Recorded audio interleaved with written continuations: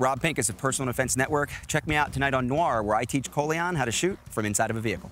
The gun's gonna come up, and then I want you to make a 90 degree turn. You're parallel with your thighs, and about the time you get to the center, I want you to rotate your body, and now you're gonna use your outside foot to push. I want you to lean back and straight up, keep your eyes on the threat, and now you're gonna make that 90 degree turn with the muzzle, right? Lean back, lean back, lean back, extend, touch, press.